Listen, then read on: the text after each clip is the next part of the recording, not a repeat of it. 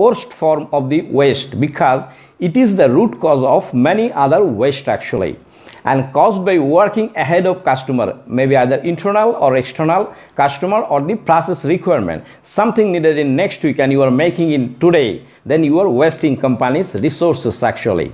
Number two waste is the excess of inventory. Excess of inventory is not directly required for the current customer requirement. You are making the inventory so working ahead of build requirement causes this high WIP standard. WIP means work in progress or no WIP standard. Or lack of JIT just in time. Now people, every every industry is looking for just in time concept. When it is needed we need the part only that day not even before not after. Number 3 waste is motion. Unnecessary motion in a process caused by poor part placement, poor process flow, poor workstation layout,